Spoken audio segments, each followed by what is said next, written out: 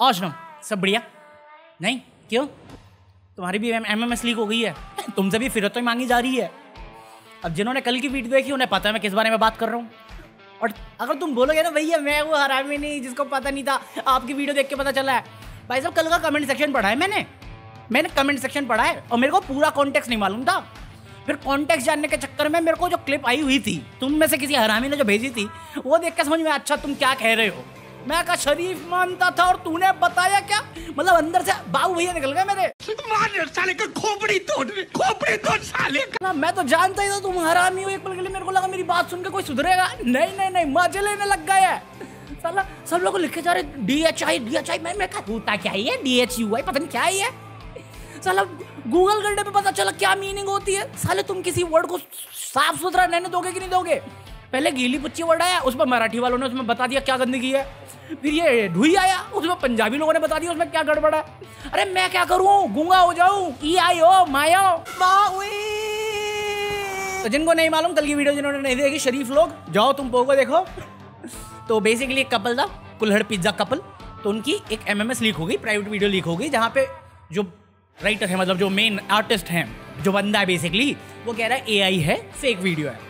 फिर second video आई जहाँ पे वो रोते हुए बोलता है कि भैया ये बंदा है और वो बंदा कहता है मैं डिफॉर्मेशन मार दूंगा सबूत दे मुझे अभी पुलिस ने अरेस्ट कर लिया है एक बंदी को जिसने उस इंस्टाग्राम से उसको मैसेज किया था वो पुलिस की क्लिप देख लो पहले क्योंकि बहुत वियर्ड बातें हैं इसमें ਮੇਰੇ ਬਹੁਤ ਸਾਰੇ ਸਵਾਲ ਹੈ ਤੋ ਜਿਹੜਾ ਇਹ ਕੁੱਲੜ ਪੀਜੇ ਨਾਲ ਰਿਲੇਟਡ ਜਿਹੜੀ ਇਹ ਵੀਡੀਓ ਵਾਇਰਲ ਹੋਈ ਸੀਗੀ ਇਹ ਮੁਕੱਦਮਾ ਉਸ ਸੰਬੰਧ ਵਿੱਚ ਦਰਜ ਕੀਤਾ ਸੀ ਤੋ ਜੋ ਕਲਪਰੇਟ ਸੀ ਇੱਕ ਫੀਮੇਲ ਕਲਪਨਿਕ ਨਾਮ ਸੋਨੀਆ ਉਹਨੂੰ ਵੀ ਜਿਹੜਾ ਹੈਗਾ ਅਸੀਂ ਇਹ ਅਰੈਸਟ ਕਰ ਲਿਆ ਹੈਗਾ तो बाकी ਜਿਹੜੀ ਹੈਗੀ ਉਹ ਤਫਤੀਸ਼ ਜਾਰੀ सो अपेरेंटली जिसने ये वीडियो क्लिप लीक करी है वो इनकी one of the former employees थी जो इनके यहाँ पे काम करती थी जिसको जॉब से निकाल दिया गया था अब इसका पता कैसे चला क्योंकि जिस इंस्टाग्राम आईडी फेक आईडी से इनको मैसेज आया था, उसको ट्रेस किया गया, जिसके थ्रू इस लड़की को पकड़ा गया।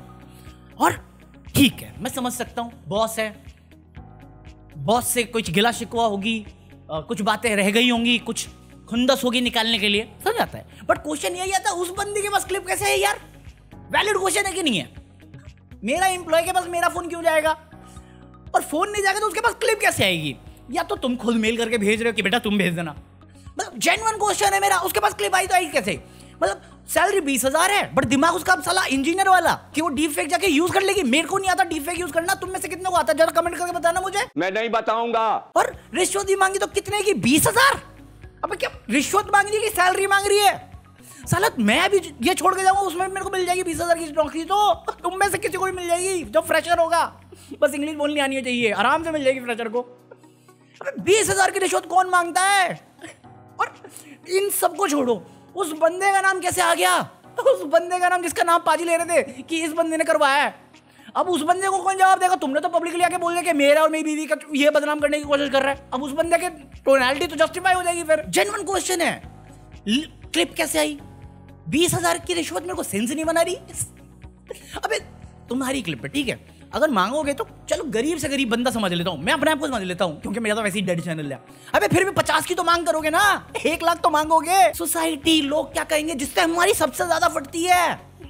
उस ब्रह्मास्त्र ऑलमोस्ट तुम्हारे पास किसी को भी बर्बाद करने का बीस हज़ार रुपए।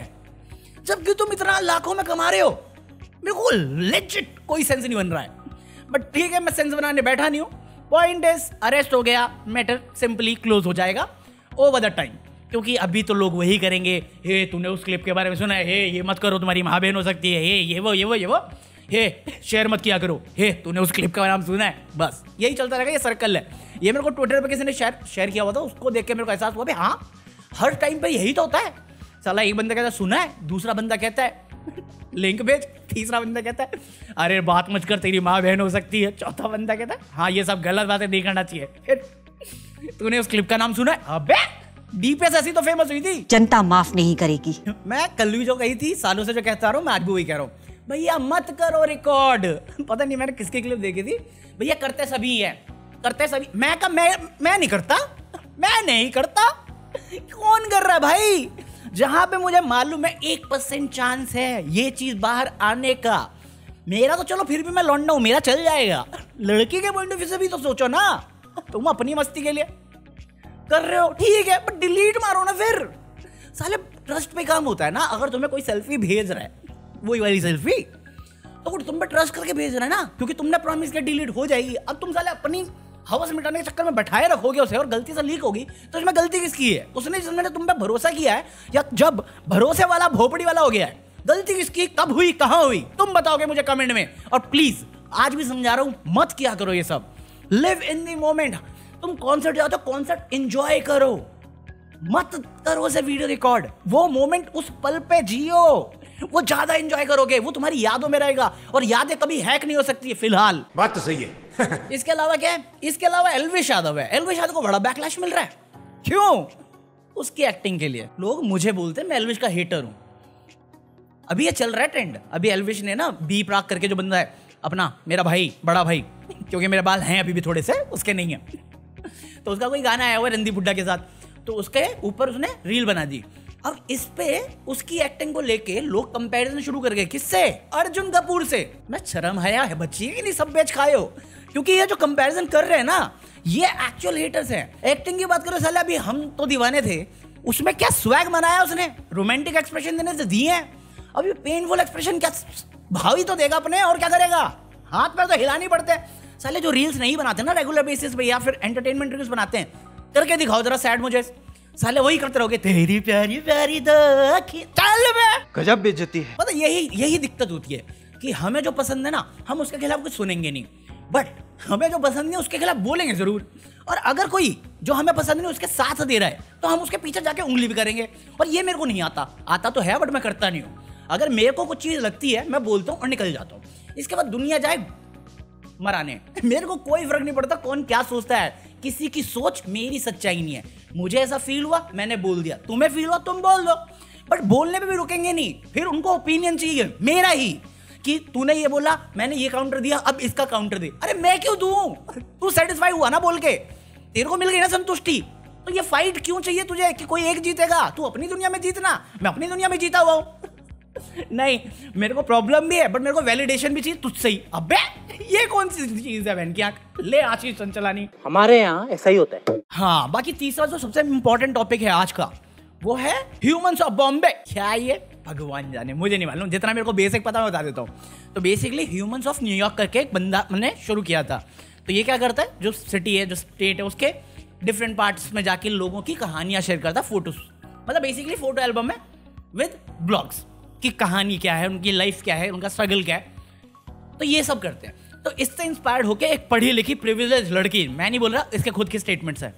उसने इंडिया में ह्यूमंस ऑफ़ बॉम्बे शुरू कर दिया। तो अभी क्या हुआ कि जब ये शुरू हुआ, अब बेसिकली उन्होंने बिना परमिशन मतलब हाँ ये ह्यूमंस ऑफ़ जो बॉम्बे है, उन्होंने बिना परमिशन के ह्यूमंस ऑफ़ न्यूयॉर्क से उठा लिया पूरा कॉन्सेप्ट और ये नाम काफ़ी सिमिलर रखा। कोई रिलेशन नहीं इनका, बस इंस्पिरेशन है इंस्पायर्ड हुए हैं।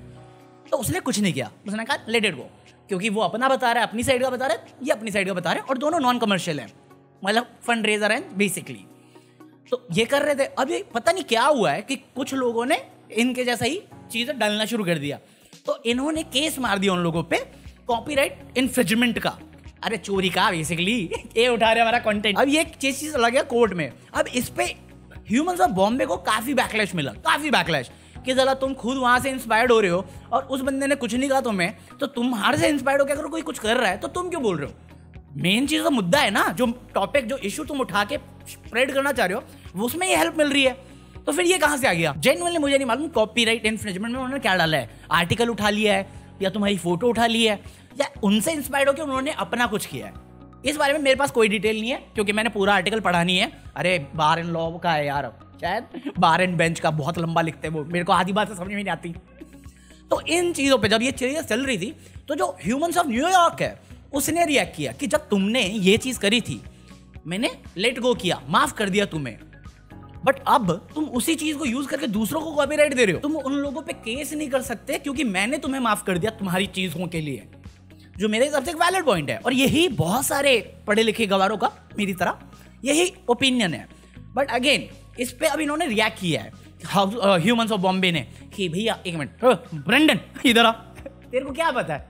जरा बात कर हमसे। हम बताते तुझे डिटेल्स जहाँ तक मेरे को समझ में आ रहा है तो ठीक है एक नॉन प्रॉफिट टाइप का कर रहे हो बट तुम एक ब्रांड बना रहे हो जहाँ पे तुम रीच बढ़ा रहे हो। बेसिकली इन्फ्लुएंसर वाला काम है जो हम लोग करते हैं वही वो, वो चीज़ कर रहे हैं। बस एक सोशल टॉपिक उठा के कर रहे हैं। या डिफरेंट पार्ट ऑफ़ लाइफ से रिलेटेड कर रहे हैं। चाहे वो सेक्स वर्कर का हो या लो क्लास पीपल का हो low class family medium class family का हो या डेली लाइफ की स्ट्रगल से रिलेटेड हो।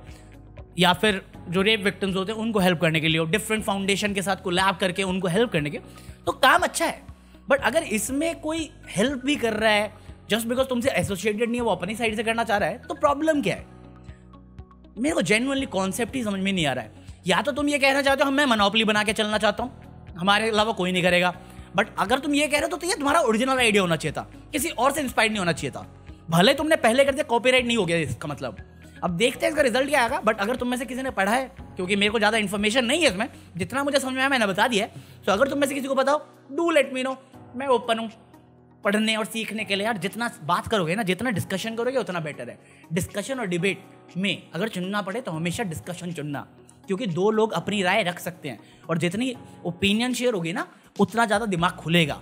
True story bro peace out मैं लॉग आउट बोलने वाला था। चलो बाद में बताऊँगा लॉग आउट पीस